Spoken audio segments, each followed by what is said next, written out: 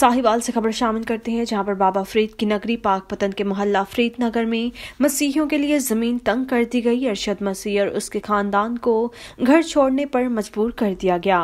झूठे मुकदमात के इंदराज का सिलसिला जारी है। पाक पतन पुलिस ने मसीही खानदान को तहफ़ फ्राहम करने के बजाय घर छोड़कर चले जाने पर मजबूर कर दिया। मुतासरा मसीही खानदान खौफ से मकान छोड़कर दूसरी जगह मुंतकिल हो गया। सी एक बार फिर बनी। पाक पतन में मुतासरा मसीही खानदान की आवाज़। Executive director C T S Miss Catherine Sapna और सीईओ मिस्टर आशिर सरफराज ने वाक़ का फौरी नोटिस लेते हुए मुतासरा मसीही खानदान को लीगल एड के अलावा हर किस्म की मदद फ्राहम करने की ज़िम्मेदारी उठाने के बाद सी टी एस जनूबी पंजाब के कोऑर्डिनेटर विल्सन रजा की सरबराही में टीम को पाक पतन रवाना कर दिया।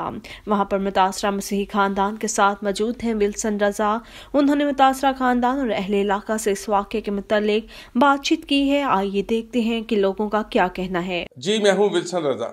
इस वक्त हम मौजूद हैं पाकपतन बाबा फरीद की नगरी में और फरीद नगर की एक वादी है जहाँ पर एक मसीही ख़ानदान को आए दिन उन पर मुकदमे दर्ज करवा कर यहाँ से घर छोड़ने पर मजबूर कर दिया गया है।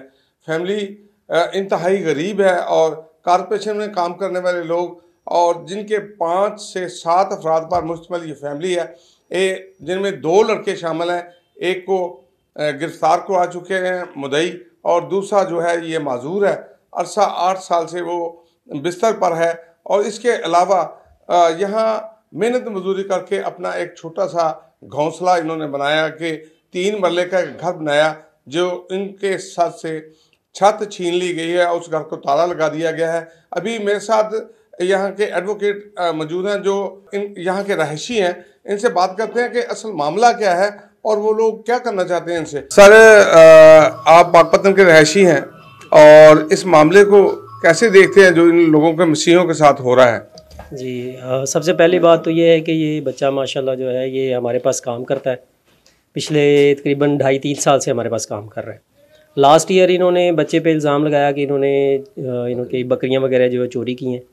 तो उस इल्ज़ाम लगाने के बाद बच्चा पकड़ा भी गया और फिर वो अदालत से उसकी ज़मानत भी होगी, इल्ज़ाम साबित नहीं हुआ।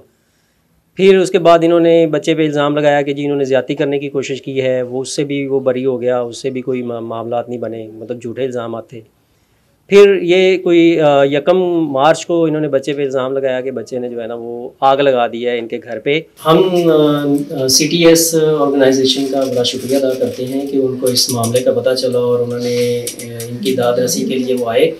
और हम मिस्टर आशर और मिस कैथरीन। सपना का बहुत शुक्रिया अदा करते हैं कि उन्होंने अपनी टीम को इधर भेजा उनकी दाद रसी के लिए। और मज़ीद हम चाहते हैं कि वो इस मामले को अच्छे तरीके से जो है ना अला मुकाम तक पहुँचाएँ। हम उनका बहुत बहुत तह दिल से शुक्रिया अदा करते हैं जी। फरमाइएगा कि ये एक घर है जो इतनी आबादी में मसीह घर बैठा है। इनको क्यों तंग किया जा रहा है और बार बार पर्चे हो रहे हैं उनके बच्चों को पकड़ाया जा रहा है? वजह क्या है? मैंने सर पहले भी बताया है कि दरअसल ये इसको अपने मोहल्ले से निकालना चाहते हैं और इसको मजहबी रंग देना चाहते हैं। और इनके साथ, अगर इनकी मसीही बरदरी में कोई लोग साथ देते हैं तो उन्होंने दूसरे पर्चे में उन लोगों के भी नाम शामिल कर दिए हैं। एक इफ्तार काला साहब हैं और एक नवीद साहब हैं। वो मुसलसल इन लोगों के साथ, इनका साथ देते रहे हैं, मसीही हैं वो भी। और इन्होंने इस दूसरे पर्चे में, जिसमें इन्होंने बकरियों का वाड़ा जलाया है, उसमें उन दोनों के भी नाम शामिल कर दिए हैं। वो बेचारे भी अपने घर से रूपोश हैं और इनको तो बेघर कर ही दिया गया है। और ये सारा कुछ पुलिस ने ही करवाया है।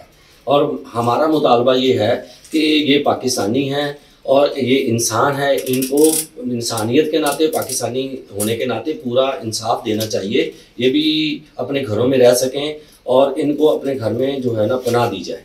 यही आला काम से मुतालबा है। कि कहीं खुदा न खास्ता कि ये दोबारा जड़ा वाला वाक़ ना बन जाए, जिससे पाकिस्तान की और मुसलमानों की बदनामी हो।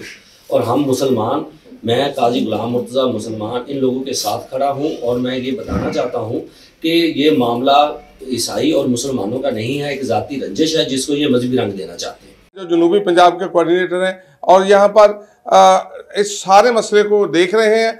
अब हम इनसे वादा करते हैं कि हम हर वक्त हर जुल्म का मुकाबला करने के लिए आपके साथ हैं।